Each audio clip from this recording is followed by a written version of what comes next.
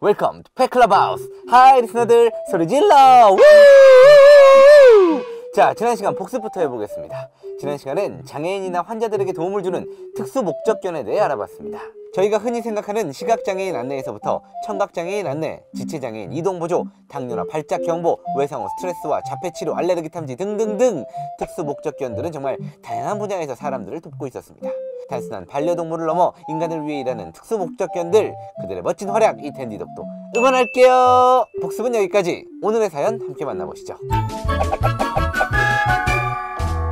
안녕하세요 댄디독 지금 상황을 감당하기 어려워서 도움을 받고자 팩클럽하우스에 사연을 보냅니다 지금으로부터 15년 전 저희 부부는 슈나우저 진순이를 키우기 시작했어요 저희에게 진순이는 자식이나 마찬가지였습니다 그런데 진순이의 시간은 저희보다 빨랐나 봅니다 일주일 전 진순이가 무지개 다리를 건넜거든요. 그 후 며칠 동안 저희 부부 모두 마음이 좋지 않아요. 특히 아내의 상실감이 상당합니다. 얼마 전에는 아내가 진순이 물건을 정리하다가 밥그릇을 들고는 대성통곡을 하더라고요. 진순이 짖는 소리도 들리는 것 같고 진순이 냄새가 남아있는 물건들을 치울 수 없다면서 말이죠. 더 잘해줬으면 하는 마음이야 한이 있겠냐마는 이미 하늘에 별이 된 진순이에게 아내는 미안한 마음이 큰 것 같습니다. 종일 울기만 하고 외출도 하지 않으니 이러다 병이라도 날까 걱정이 돼요. 제가 어떻게 하면 될까요? 슬픈 사연을 접하니 이 댄지독도 마음이 좋지 않네요. 인간과 개, 고양이의 관계 심리학이란 책의 저자 세르조 치코티는 반려동물이 죽었을 때에 대해 이렇게 말한 바 있습니다. 남자는 가까운 친구를 잃었을 때와 같은 고통을, 여자는 자녀를 잃었을 때와 같은 고통을 느낀다라고 말했습니다. 우리 삶 속에서 반려동물의 존재감이 날로 커지고 있는 만큼 이제 반려동물의 죽음은 사람의 죽음 못지않은 일로 받아들여지고 있는데요. 사연 속 부부께서도 그래서 더 슬픈 감정을 느끼고 계시리라 생각이 듭니다. 아내분이 겪고 있는 상황을 전문 용어로는 펜로스 증후군이라고 합니다. 가족이나 다름없던 반려동물의 죽음을 직면한 후 극심한 상실감, 슬픔, 우울 등의 고통에 시달리는 것을 말하죠. 사람마다 받아들이는 충격의 강도와 형태가 다르다 보니 펜로스 증후군에서 완전히 회복하는 데는 수주에서 수개월, 길게는 수년까지 걸리기도 한다는데요. 슬픔과 우울증이 1년 이상 지속될 때는 그냥 지나치지 마시고 꼭 치료를 받으시길 권합니다. 안 그러면 외상 스트레스와 같은 정신질환으로 이어질 수 있거든요. 사랑하는 반려동물이 죽게 되었을 때 어느 누가 펜로스 증후군을 피할 수 있을까요?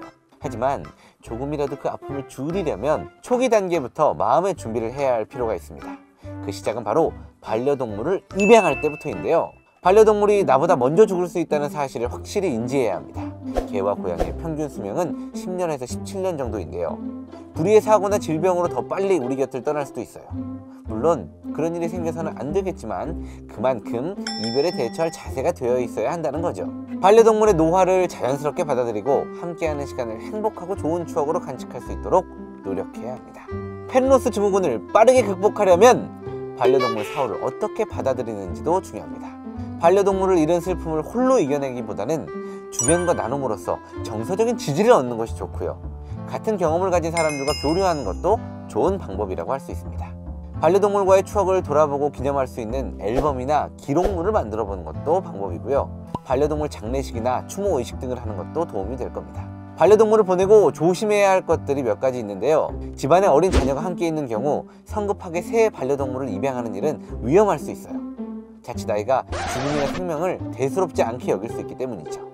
기존에 길렀던 반려동물과 같은 종, 같은 성별을 입양하는 일도 조심하셔야 해요. 죽은 반려동물에 대한 그리움과 아쉬움이 더 커질 수 있고 오히려 새로운 반려동물에게 실망감이나 분노를 느낄 가능성이 있거든요. 사실 반려동물을 키우지 않는 사람들에겐 펜로스 증후군이 낯설고 별것 아닌 것처럼 보일 수 있어요. 아니 동물 죽은 게 뭐 대수냐라고 받아들일 수 있죠. 그런 생각이 틀렸다고 생각하진 않습니다. 사람마다 받아들이는 기준은 분명 다르니까요. 하지만 반려동물을 키우는 인구가 늘어나고 있는 만큼 앞으로 우리가 좀 더 신경 써야 할 부분이 아닐까 이 댄디독은 생각합니다. 펜로스 증후군을 보이는 사람들을 위로하고 존중해주는 시선 그런 자세가 필요한 거죠.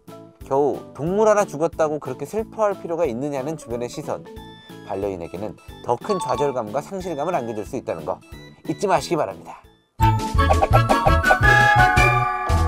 자, 펜로스 증후군을 겪으시는 많은 분들에게 오늘 내용이 조금이나마 도움이 되셨길 바라면서 이 시간 마치겠습니다.